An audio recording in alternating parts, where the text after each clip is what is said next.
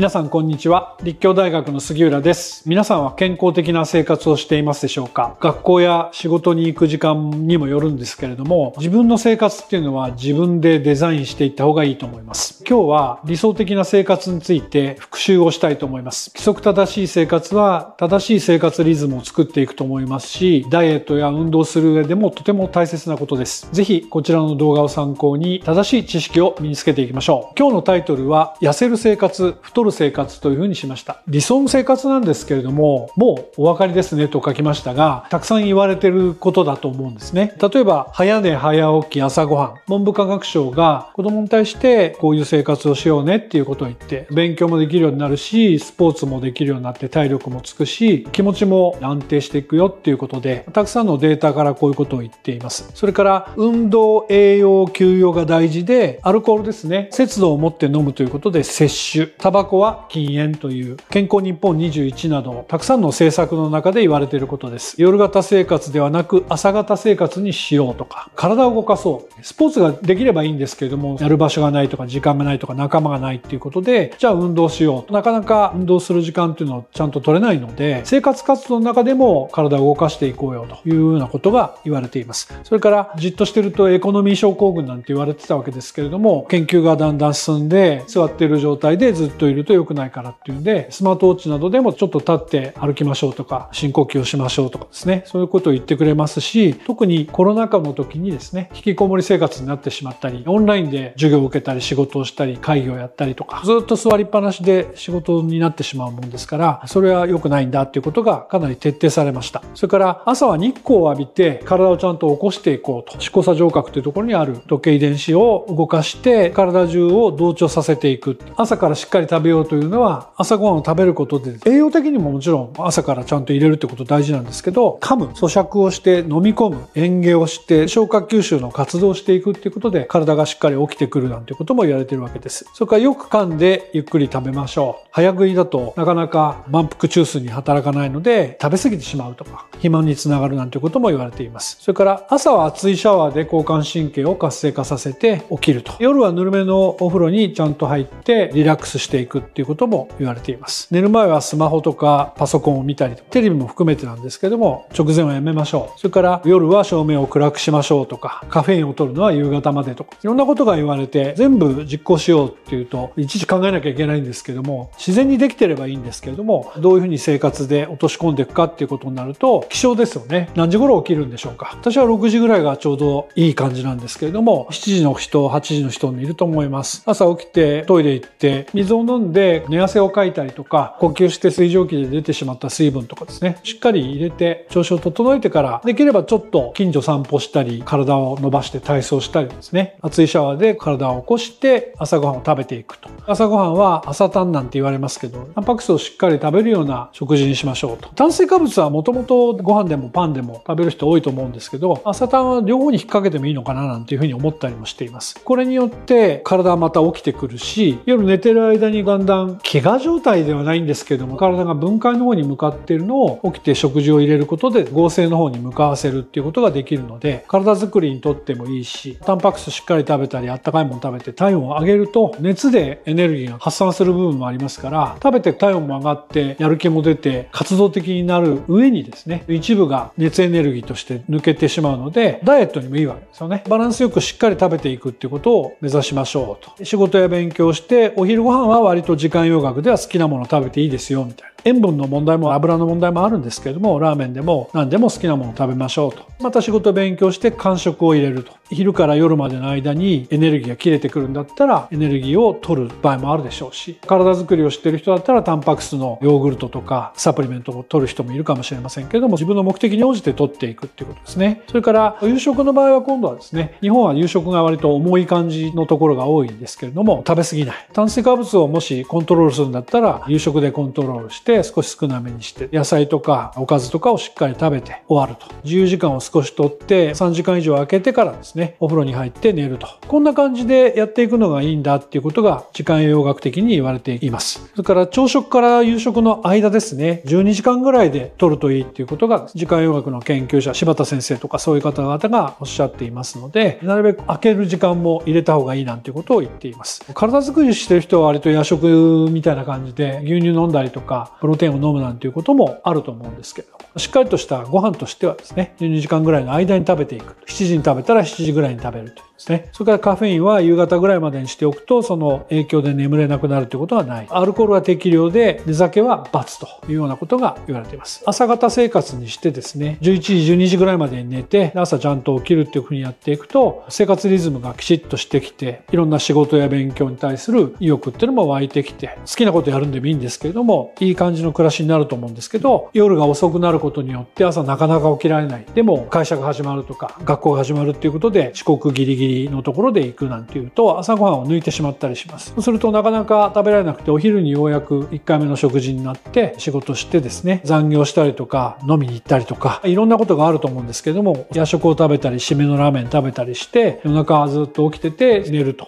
次の日起きるのもきつくなるっていうことで夜型生活にしていくとですね体調も悪くなりますし太りやすい人は太っていきますので締まった体を作ろうと思った時には規則正しく朝型生活にしていった方がいいということになります。個人差はありますけどね多くの人に当てはまることだと思います。変則勤務の方もおられると思うんですね。夜勤とか交代勤とか残業がすごくあるなんていう。それから学生さんで夜遅くまでアルバイトをするっていう人もいると思うんですけどどうすればいいかっていうことなんですけども1週間例えば月曜日から日曜までの自分の表を作ってですねどういう生活をしてるかって書いてみるわけです。仕事の時間が変えられないとかね勉強の時間変えられないとか大学で授業の履修の登録した時間が変えられない。これは絶対だっていうものを決めておいてそれからアルバイトもいろいろ相談して早く終われないかとかいろいろ考えたりしてそれでも難しければ実態を書くわけですよね。どういうふうに食事をはめていくかとか睡眠時間がどれだけ確保できるかっていうところを考えていくってことになると思います。スケジュールを書いて自分の生活をやっぱりデザインしていくと。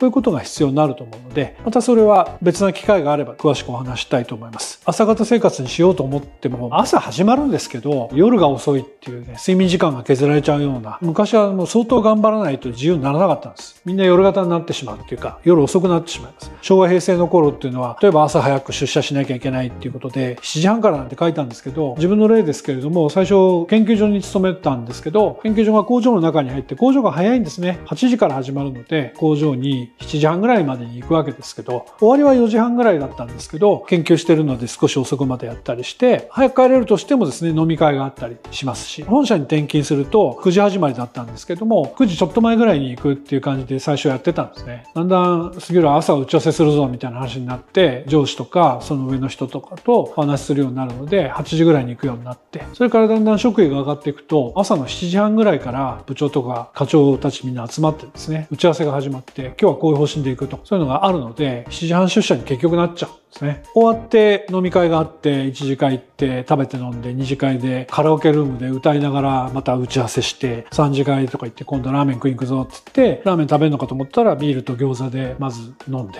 最後ラーメン食べるみたいな感じで午前様になって帰る。朝はちゃんと行かなきゃいけないので、睡眠時間が全然なくなってしまいます。それから残業して遅くまでやってるんですけど、明日までにこれ仕事やってくれって言われてるのに、晩飯行くぞって連れてかれてまた飲んじゃったりですね。帰ってきてからもう酔っ払ってるので、近所のカプセルホテルに泊まってですね、朝5時に会社行って、そこから2時間か3時間で仕事をするみたいな、結構大変だったわけです。だんだんと農残業になったり、上司がですね、酒に誘うとか、仕事を無茶ぶりしてくるとか、ハラスメントみたいな認定されるようになって、さらに健康経営っていうことが言われるようになってきて、今はかなり自由裁量で自分でコントロールできるんじゃないかと思うんですね。そうするとですね、こういうふうに時間使ってたのが、自分で自由に使えるんですけど、例えば友達とね、ズームをつなげながら、ネットフリックスとかプライムビデオとか映画を見て一緒に楽しむなんてことをやったりとかですね、飲んだりもしたり、パソコンとかゲームとかですね、いろんなことをやって、夜の誘惑っていうのはやっぱりあるんですね。無理やり飲み行ったり、無理やり引っ張ってったりとか、そういうことをやってた時代からですね、今度は自由なんだけども遅くまでやるっていうことになってしまいます。ですので、どういうふうに変えていくか、たまにはいいんですけども、仕事終わって金曜日の夜かなんかにやるっていう、そういうふうにして、それ以外の時はなるべく規則正しい生活をやっていくとか変えていった方がいいと思うんですね。自分自身は6時起床の23時就寝がベストだっていうことは最近の生活で分かってきました。朝2時起きで何でもできるなんて枝広純子さんという人の本を読んだり、3時起きとか4時起きとかいろいろ試したんですけどダメなんですよね。1週間ぐらいやるんですけども、テレビ見ちゃったりして、夜中のは面白かったりするもんですから何も仕事しないで何でもできなかったっていうこともありました。36歳の時に大学院に行けましたので、大学院から帰ってきても博士号を取るために研究があるので、夜の誘いを断れたんですね。論文読まなきゃいけないんでとかそういうこと言うと、まあ杉田さんしょうがないななんて言うんで、解放されたたんで大丈夫だったんですけど、自分で理由を作ってね、コントロールしていけるといいと思います。理想の生活とか、自分にとっていい生活っていうのが分かればですね、それができるといいんですけど、分かってるんだけどできないんだっていう人はやっぱり分かってるなら実践しなきゃいけなくてですね、実践できてないってことは分かってないんだっていうことですよね。こういう理想の生活のパターンも個人差があります。自分自身が何時頃に起きて何時頃に寝るのが調子いいのかっていうのもあるので、仕事や学校の関係とかですね、その中で自分にとって今一番いいのはどのぐらいの生活なのかっていうところをぜひ見ていって、て、それを続けて、食事の内容なども自分で決めて、晩飯抜いちゃおうとかね、あるかもしれないですけど、それも人に見てもらって、少なすぎるんじゃないのと、後で体弱くなっちゃうよとか、そういうアドバイスがあれば、そういうのも入れながらですね、構築していくといいと思います。年を取っていきますと、また変わってきますから、何年かに一遍は見直すような形でやっていくといいと思うので、ぜひ生活をですね、自分でデザインしていい生活を送っていただければというふうに思います。ということで今日は、題名は痩せる生活、太る生活ですけれども、自分にとってとても健康的な生活、よく動ける、元気な自分になる生活っていうのはどういうものかっていうことを追求していただきたいと思って動画を撮りました。この動画が役に立ったという方は、ぜひチャンネル登録や高評価をお願いいたします。質問のある方はコメント欄に